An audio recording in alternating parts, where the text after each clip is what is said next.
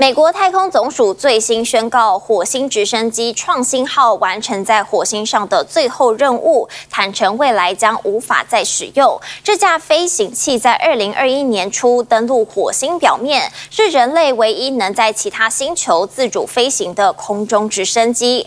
不过，就在上周进行第七十二次飞行时，一度意外和美国 NASA 断讯，判定是碳纤维巡翼叶片受损，无法再进行飞。飞行任务终结他在火星上近一千天的工作时间。想看最完整的新闻内容，记得下载 TVBS 新闻网 APP。